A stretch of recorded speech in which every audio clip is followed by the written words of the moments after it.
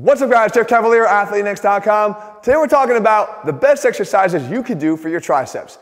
But the catch is, as we've done in this entire series, we're restricting our selections to those that you can do with just this, dumbbells. Now look, we're not talking sacrifices here because the gains you can make with dumbbells are just as good as anything else if you choose the right exercises. But that being said, what type of gains are we talking about? Because there's a lot of things we could be training for. So I want to give you guys the best selections for developing strength, power, hypertrophy with eccentric stress as the overload, a metabolic exercise combination to drive hypertrophy as well, a total body combination, which, yeah, they actually do exist when it comes to triceps, the corrective exercise, since I can never completely separate the physical therapist from the strength coach, and then finally, our miscellaneous exercise, which means something that doesn't really fit cleanly into another category. And in this case, when it comes to the triceps, an exercise that allows a maximum shortening or a maximum contraction of the triceps, because there aren't that many when it comes to dumbbells. So you guys ready? We're gonna break them down here category by category. All right, guys, we kick this one off in the category of strength. And when it comes to building strength, you want to look for the exercises that allow you to load up with as much weight as possible, as often as possible. So you have to have some capacity in the lift that you're doing. And in the case of the triceps here, if I had access to a barbell, I'd run right over to perform the close grip bench press because we know that's the heavy hitter. But we also have a secondary one, one that sort of ties, and that is the upright dip. Simply changing the orientation of your body from more oriented forward, which would hit more of the chest, as a vertical push-up to one more upright, which places more of the demand on the elbows, which is going to impact the triceps and make that another heavy hitter, especially because we know we can weight the exercise. So let's actually start in reverse. If we chose the weighted exercise there, we could easily make this a dumbbell swap out because we don't have to sacrifice the weight. As a matter of fact, instead of just using plates, you just strap a dumbbell up like I'm showing you here. You could even do the equivalent weight and there's no drop off. You can get all the gains from this exercise that you would with normally loading it with plates. The fact is, there are a couple things you want to focus on, not just staying more upright, as you can see here, placing more of the stress on the triceps, but I also like to finish by opening my hands and finishing through extension at the wrist to just take the forearms out of it and place more of that stress on the triceps. But we go back to the barbell close grip bench press. Now, if you guys haven't already watched the chest edition in this series, you're going to want to see that because a similar selection was made. We had to decide whether or not it was just as good to go to a dumbbell version of a bench press to take the barbell out of it. And in that case, it actually wasn't so good because of the high demands of stability on the shoulders when you make that drop off. I made the point that 300 pound bench pressers do not become 150 pound dumbbell bench pressers. But the interesting thing when it comes to the close grip bench press is there's a lot less of a significance in the trade off because of the positioning of the elbows and what it namely does to the shoulders. When the elbows are out here, the stability demands on the shoulders are much greater than they are when the elbows come down and in for the close grip setup. In fact, it's one and a half times less torque and stress on the shoulders and the muscles around the shoulder girdle to support that. So you'll find that when you go to make the swap to the dumbbells, you actually don't have to sacrifice very much of weight at all, which continues to make this a viable exercise selection here when you're trying to build strength without having to try to use light weights to accomplish that goal. So guys, you have two options here. I'm gonna keep them tied. You pick. All right, next up we move on to power. And as we've discussed here before, when you're training for power, it's not just about trying to use exercises that allow you to move some weight, but more importantly, to move them quickly. There's a velocity component here. So you want to be explosive when you perform the exercise. And in that case, my best selection here is the dumbbell JM press. Now, this is a modification of an exercise created by J.M. Blakely where we use a barbell traditionally, but again, I don't feel there's a significant drop off in doing it this way. The goal here is that we want to try to be explosive. We want to try to move this weight with some speed. So we select a weight that is heavy enough but still commandable for us to actually move in space. That initiation of the movement, driven by the elbows and actually the shoulder joint itself, is allowing an object in motion to stay in motion. Right? We're getting the inertia overcome by the movement of the elbows, not necessarily by the triceps. But once we get going, the triceps can mechanically take advantage and kick in and really accelerate that weight. But I have another option too. I have two ties here to start off this video. The fact is, as I pointed out in other videos, Ideally, when you're trying to train for power, if you can explode your body or the weight through the concentric with no deceleration component, because even in the JM press, at some point you're decelerating the dumbbells as they reach full extension to protect the elbows.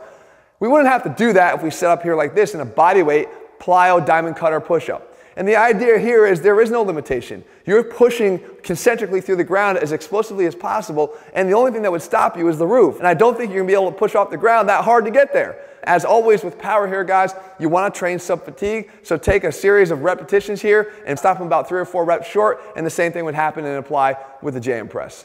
All right, guys, we move on now to hypertrophy. And while we know that strengthening your muscles is a great way to create gains, we also know that those gains can potentially dry up because progressively overloading an exercise can actually hit a wall rather quickly. So you need some other weapons in your arsenal. And one of the best ways to do this is with eccentric overload of the muscle you're trying to grow. And we can actually do that great here with the lying dumbbell tricep extension. This is one of my favorite exercises, period. Why? Because we can get an enormous stretch on the triceps because of the positioning of the exercise. I'm able to lay down and get my arms up and over my head. And why is that so significant? Because we can place the stretch on the largest portion of the triceps, that being the long head, in the bottom of this exercise. Now, don't make the mistake that a lot of people do, and that is they bring the dumbbells all the way up until their arms are straight up over their body you actually lose a lot of the tension applied to the triceps by doing that. Always keep them slightly angled backwards throughout the entire exercise. But here's where it gets even better. When you reach failure, we know that another way to elicit hypertrophy and muscle gain is to train through failure. Increase the intensity of your work. Go until you can't do any more reps of the lying extension concentrically, and now just drop the elbows and then flare them out to your sides to position yourself really at the beginning of a dumbbell bench press. So now we can call on the chest and shoulders to help us get those dumbbells back up to the top. And then eccentrically control the weight on the way down. You're looking to perform as many eccentric only reps as possible. And the only way you're going to be able to get these dumbbells back to the top is by calling on and utilizing the help of those other muscles.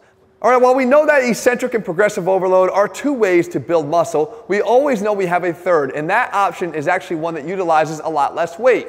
Matter of fact, it could be using your, just your body weight as it is in this example, and this is our combination of our floor dip into our close grip dumbbell push-up. Now the dumbbells are actually props in this case. They're allowing us to maintain a neutral wrist positioning while we perform the first exercise in this combination, which is a floor dip. The most important part of this exercise is that we're getting our arm back behind our body to allow for a full contraction of the long head of the triceps. Perform 10 reps of this and immediately jump our body through to a close grip dumbbell push-up. Again, the wrist positioning is what's key here and being afforded to us by the use of the dumbbells. And we do another 10 repetitions here.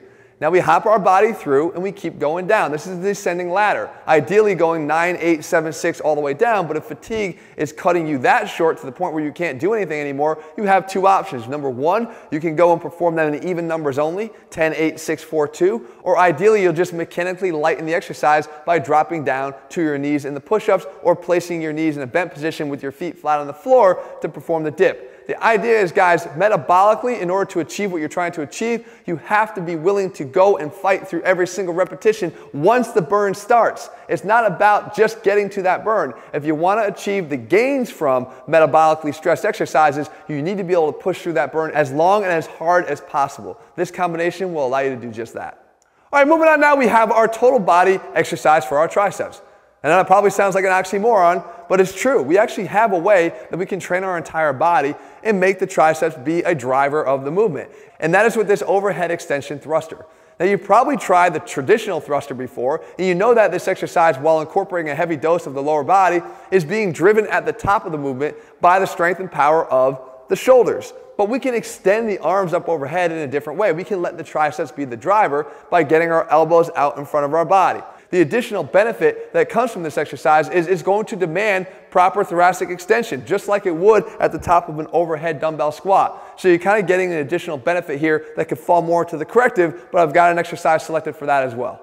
Speaking of that corrective, we need to know that the tricep doesn't just do this. It doesn't just extend the elbow. As a matter of fact, our appreciation for how significant this muscle is will grow as soon as we know that it actually has an attachment that goes across the shoulder onto the scapula itself, which is the long head, which is actually the largest component of the triceps muscle. And why is that significant? Because it opens up a whole new world of exercises that we can do to help it perform better at the job of stabilizing that scapula or getting your arm back into extension behind your body. So what we have here is the dumbbell devil. And that might ring a bell because you probably heard me talk about an exercise called the angels and devils. And we know that the angel comes all the way up to the top, but we don't need to do that if we're really trying to focus the intent of this movement on the triceps. We only need to go about halfway. You can see me laying down on my belly here and then getting the dumbbells off the floor. And for some people, that might be really, really difficult alone. Just getting that isolated extension behind the body, getting that arm lifted up. But you won't be able to necessarily handle very much weight here at all if you don't learn to incorporate the other muscles that attach to the shoulder blade too and have actions on it, and therefore integrating muscles that prefer to work together. So we always try to do here when we can. And we can do that with this devil exercise. We get the rhomboids to participate. We get the rotator cuff to actually externally rotate the shoulder to get up in position, to get those shoulders off the mat, and to keep them off as we go through this arc. Again, you won't be able to use a heavy weight here, but that's not the purpose. This is a corrective exercise meant to integrate that triceps with those other surrounding muscles of the shoulder girdle for an all important purpose and oftentimes an underutilized one. And last, we wrap up our selections here with our miscellaneous category, and specifically what we're trying to achieve that we maybe didn't achieve as much in the other selections, and that is getting full extension and contraction, maximal shortening of the triceps. And you might be thinking to yourself, how do we not do that? Well, any of the exercises that end with your arms out in front of your body are not doing that. The only way to achieve this is by getting that arm, as we just talked about, back behind your body into extension to get full shortening of the long head of the triceps. And here's an exercise that gets kicked to the curb far too often and is one of my favorite ways of doing this, and it's the dumbbell tricep kickback. The most important thing you can do is establish your arm in the beginning of the movement back behind your body, and then try to fight and keep it there on every single repetition. Look, I know as you start to fatigue, those arms are going to start to drift down and down and down and want to start working their way towards the front of your body. But at that point, you're going to lose one of the main benefits of what we're trying to achieve here. Similar to getting full adduction of the chest by crossing midline, you got to keep that arm up as high as possible. It might mean using lighter weights. That's okay. We're generally not that strong in that finished position anyway, but it doesn't mean that we should ignore it. You want to find an option and a way to do that, and this is my favorite way and the best way to do it. So there you have it guys, my best dumbbell exercises when it comes to developing your triceps. And remember, it's not always about just trying to build strength or just trying to build size. It depends upon what you're trying to train for that will dictate the exercise selections that you choose. And that same level of applying science to the selection of what we do is what we do in all of our programs. If you haven't already done so guys, head to athleanx.com right now and get the program that best matches up to your current goals. In the meantime, if you haven't already done so, please subscribe, turn on your notifications, and as always guys, make sure you leave your comments and thumbs up below. Let me know what you want me to cover, and I will do my best to do that for you guys in the days and weeks ahead. All right, see you soon.